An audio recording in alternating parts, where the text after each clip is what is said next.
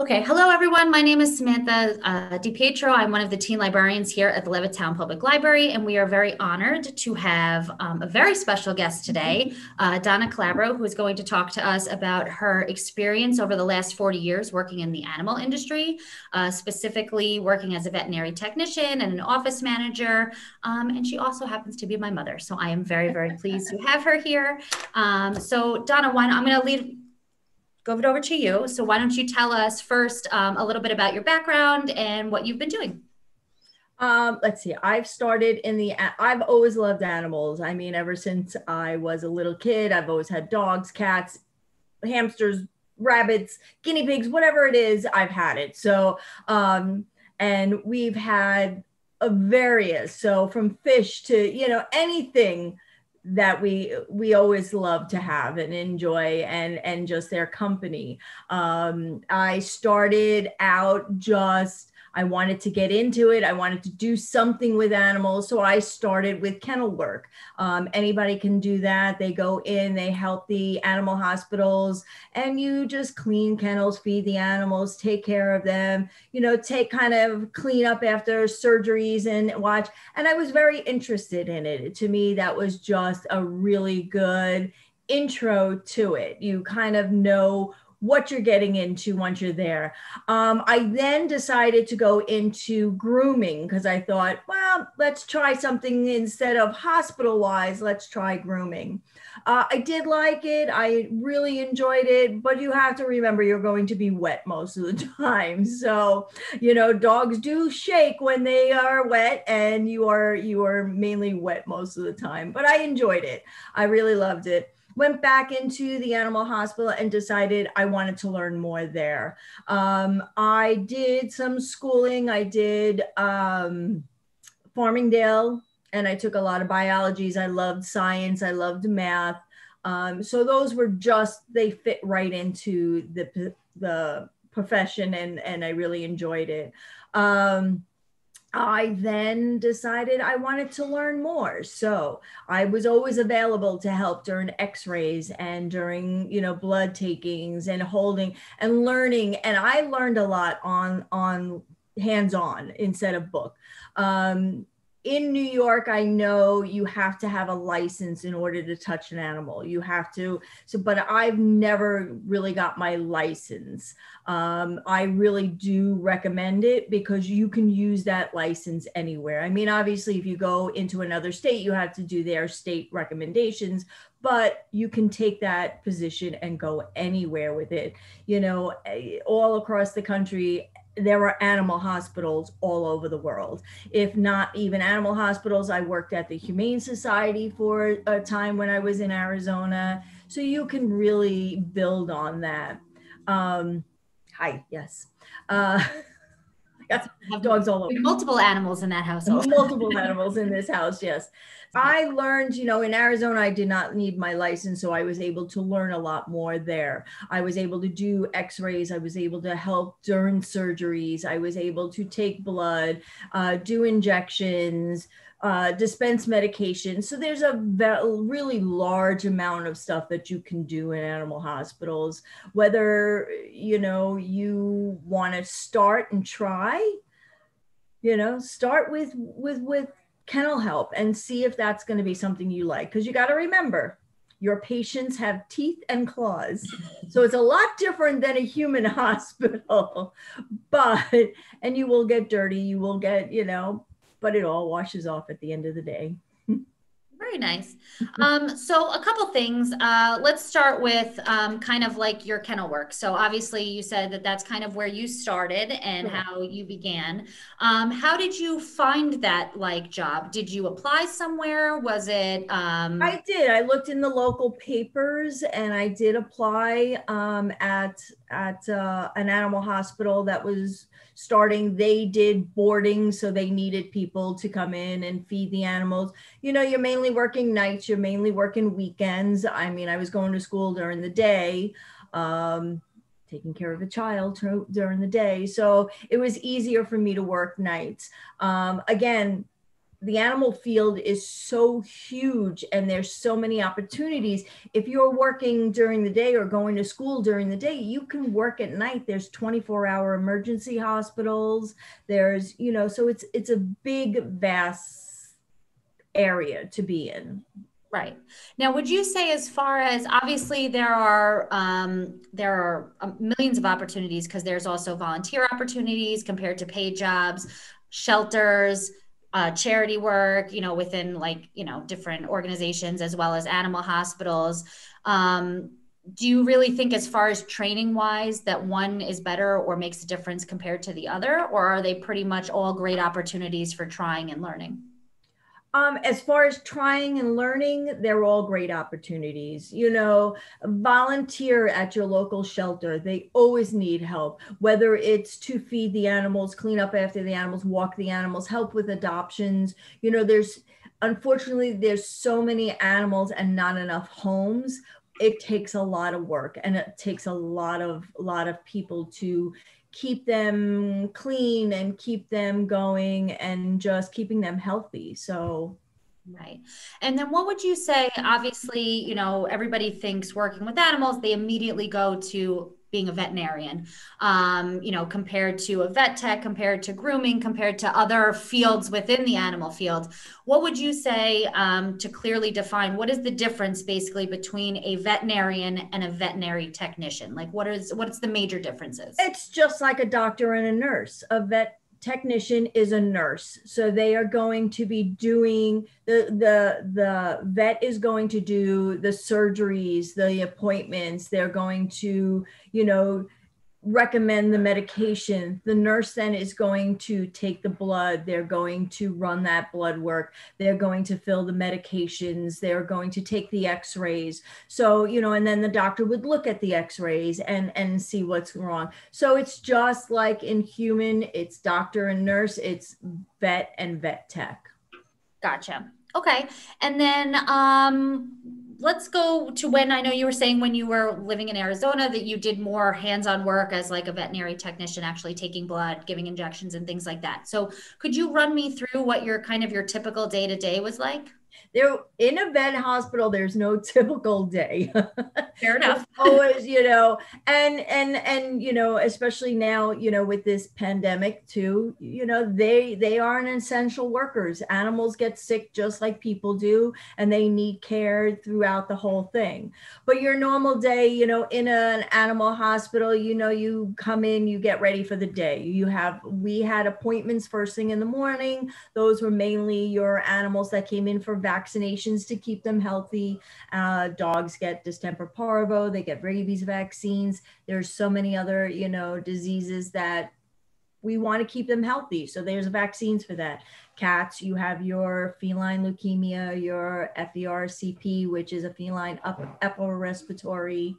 They're getting, you know, so this way they stay healthy, you know. Mm-hmm. Um, usually then you know you have your appointments for sicker animals the ones that are coming in with fevers and coughs and and sneezing and allergies you know anything that a human can get a dog can get too which sounds kind of funny because yes they can get cancer they can get asthma they can get allergies they can get all the same things too. Right. Um, and what would you say uh, was the best part of your job and the worst part of your job. Things that people need to be aware of because they're going to have to deal with those on a day to day my best part of the job and i will give you the the one that always sticks in my mind was we were doing a, a cesarean section on a pregnant dog and when you get handed that puppy, that lifeless puppy, and you actually bring that puppy to life, you actually get it to breathe, and you you hear that little whimper, that first little whimper, it just it fills your heart. It just makes you feel so good because you know i i remember that puppy and i still to this day remember that one exact puppy because i worked on that puppy for a good 45 minutes before i got it to to cry and and lift its head and be on its own and it was just just so you know even the owners were so so amazed at the amount of work that we put into it. They actually named the puppy after me. So, you know, sometimes, you know,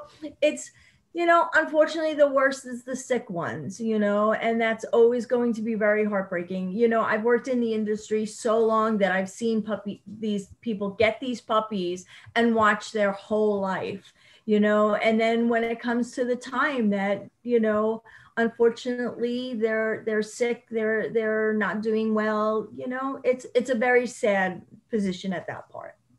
Gotcha. Another question that I had too is, you know, they say the difference between working with people or working with animals is that people can tell you what's wrong and an animal really can't. So that's always something that I've always had a question on is how how do you then tell what how an animal is feeling or, you know, because I, I feel like in the veterinary field you also kind of have to be in a, a detective in a sort of way. You do. And and a lot of doctors, you know, we do things by first of all taking their temperature, looking over their physical, asking questions on the owners. So, like the owners should know: Are they eating c- correctly? Are they, you know, um, acting normal? You know, what are the signs? So it's always good if if an owner knows.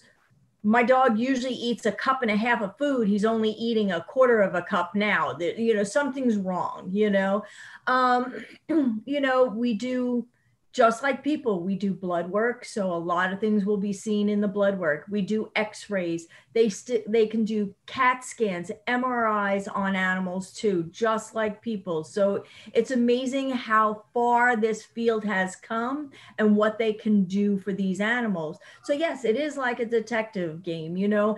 And and a lot of times doctors will try something, see if that helps and if that doesn't help we go to the next thing. We try something else. Unfortunately it is because they can't tell you. I mean they can tell you kind of you, t- you you know they're limping. Their leg hurts. They're they're hunched over. Their back hurts you know. They're blinking with their eye. Their eye hurts. So you can kind of know this you know and and a doctor who's been in it for so long or a vet tech who's been in it you you see the signs. You know when somebody's hurting you know. It's just like an infant they yeah. can't tell you they cry you know you what what's wrong? They can't tell you what's wrong. It, it it's just like a pediatric you know and, and and dogs are like toddlers you know they want they can't talk but they can get into a lot of trouble. Right.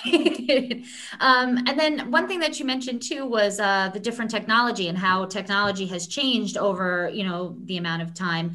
And um, would you say you know how do you stay on top of that in the veterinary field? Do you find that you're still even at, even if you've completed your schooling as a vet tech i mean obviously would you need to take extra classes? Do you need certain certifications on certain machines or how does that work? Um, they they do have to take ce um, credits.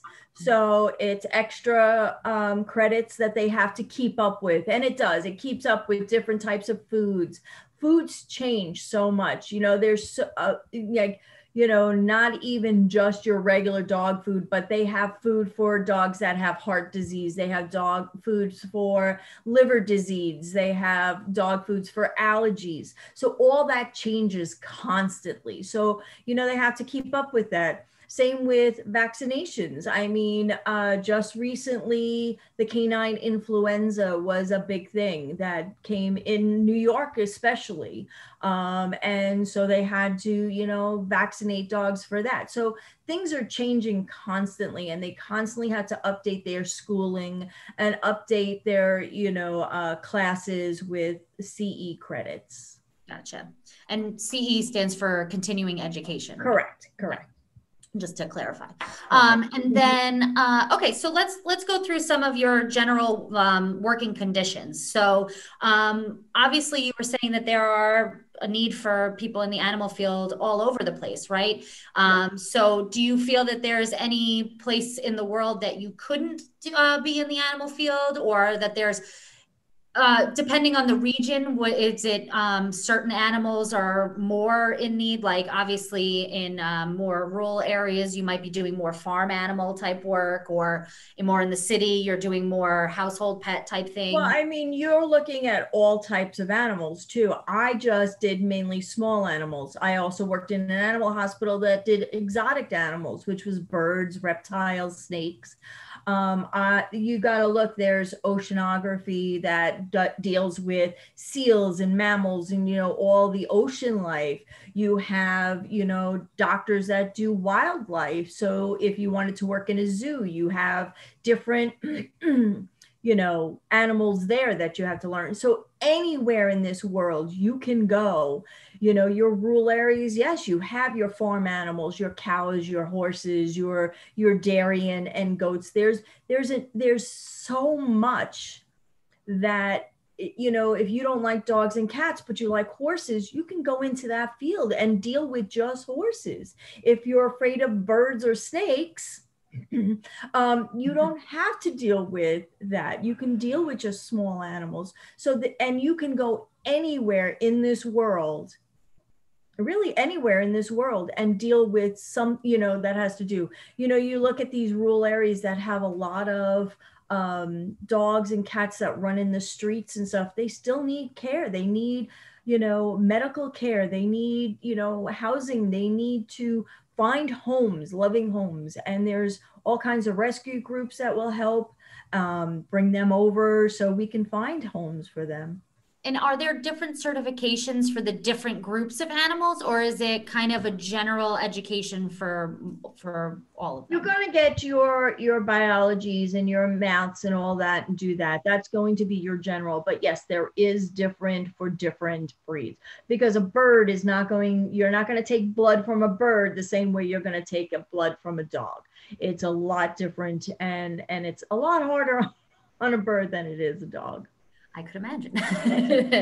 um, and would you say that there are any limitations uh, on your personal or social life because of the nature of working with animals? No, not okay. at all. Because again, if you wanted to not work during the day and you're a night person and just want, there's 24 hours, so you can work that night shift. You can work on the weekends. You could work Monday through Friday. You know, it just depends on your schedule. You can usually fit pretty much anywhere. I mean, obviously, animals need care all the time. Like it's not like, but there's, you know, schedules. So there's, if you're not going to be there, somebody else would be there, you know. Gotcha. And then um, obviously, we talk about working in teams or working independently. Would you say that this is more of a job where you're working more in a team fashion or doing more solo independent work?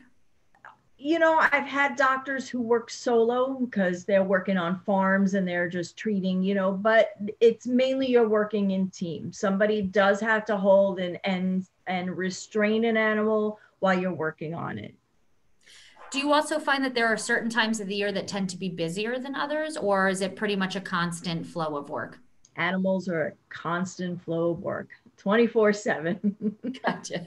Um, and in general for students that are considering this type of career do you think um, what type of interests abilities or skills do you think would help a person to be successful in this type of applic- uh, op- occupation you really have to love animals. That is like the number one because if you're afraid of a dog you're not going to do well in this situation because there are dogs that are aggressive there are dogs that are super nice. You have to deal with all types you know and it's not you know i mean you're not going to treat a cat and a lion the same way you know they're they're a lot different. Even though they're both in the same group they're a lot different. And you really have to love animals and understand them and you have to be cautious with them too well, that actually leads into my next question about, um, you know, the safety to the to the to the worker, to the veterinarian or the or the technician. Obviously, there are safety concerns whenever working with animals, whether they're large or small. Um, what would you say are some of the things that you know people should be cautious about when working with animals, or or safety safety precautions that they should take? You always have to know the animal you're working with and be very on top of it and watch you know, a dog is going to show signs when he's aggressive. He's going to lift his lip. He's going to growl. He's going. So, you know, there's there's ways of protecting yourself when you're working on them because they still need medical help. They still need care. So you put a little muzzle on them. It's not hurting the dog, but it's protecting the dog and it's protecting you too at the same time. Gotcha. Um, and then what, um, I know you said that there, the sciences and math were very prominent in this field. Is there any other um, type of um, coursework that uh, students in high school now, if they're interested in this field, should be focusing on or? It, biology, you know, which is your science, your math, you, you definitely have to know your math, your, um, your kind of algebra, you know, so this way you're, you, when you're dispensing medication, when you're, um, you, you got to know. I, I would say math is also important too, because obviously the, the weight of the animal depends on, like, there's obviously Yes. some sort of calculation that goes into that, right? Correct, correct. Gotcha. Um, and then what advice would you give a student who's interested in this career? What should, what could they be doing now to prepare themselves for going into this field later on, you know, whether it's college or beyond? you know the best thing is um if you if you have a pet at home go to the animal hospital when they when it's time for them to go ask questions you know volunteer at a shelter see if it's something that you really want to do um, you know even if you just go and walk an animal ask questions though. A doctor or a vet tech they will be more than happy to answer your questions and help you and show you around you know? And if you're really interested in it you know find find something that you can do with animals Gotcha.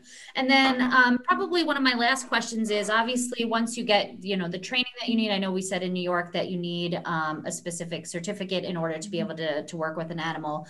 Um, but once you've completed that, obviously you said, you know, animals always need care. So there's, there is a job market there uh, always. Um, how do you go about finding those jobs once you have their career? Is it, is it a certain places that you should be looking? Is it general wanted ads or how, how do that job market, how is, how do they look for candidates? i mean when i was leaving arizona and moving back to new york i i looked online you know there's so many more resources now to find a job you know back when i started this i had to look in the paper now you have online you know you have um job markets you have you know job fairs you know and they're they're always looking And actually, sorry, my last question uh, uh, is, you know, what are some things that you think that people who are looking at these resumes or these applications, what do you think that they're looking for in people who want to work in that field? Is there anything specific that you think that people should highlight in their resumes or, um, you know, in their in their technical skills? Um, I think I think the sciences are going to be big and the maths are going to be big. So you know, if they if they have you know good study skills in those, if they really um, have a good interest in animals, you know, and a lot of the volunteer work is going to really show on their on their resumes if they've done that. Gotcha. So, so it is a good idea to, if they're just starting out, to kind of do some of that volunteer work to at least be able to put it on their resume so that when they go do looking for a paying job, they've already had some experience. And I think, and I think it's also so they understand you can't be squirmish in this type of business. Um, you know, dogs are going to make a mess. You know, cats are going to make a mess. You have to be able to understand that, know that you go home, you take a shower, it's done, you're good for the day, you know. So you definitely want to make sure that you know that this is before you go into the schooling and everything else, know that this is going to be something you want to do. Yeah, that's always a good. It, I always highly suggest uh, volunteering or or talking to people in the field of any field because it really gives you a taste of what it's going to be like to make sure that this is something that you actually want to pursue. And, and some animal hospitals, you know, you really have to call around some of the smaller ones, maybe not, but like a bigger one, you know, or even they'll let you shadow for a day. Go in and say, Can I come in? I'm I'm thinking about going into this field. Can I shadow for the day just to kind of see how a typical day runs?